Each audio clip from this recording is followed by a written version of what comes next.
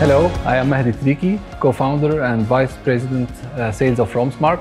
Very glad to be uh, at Wall Street English Institute today. So the objective of the session was to share experience, the challenges that we have been facing with RoamSmart to grow and to get more customers in the niche market of roaming and telecommunication worldwide. I shared uh, also uh, the hot topics of the Mobile World Congress, which took place in Barcelona last uh, week. The main topics are definitely artificial intelligence and 5G technology.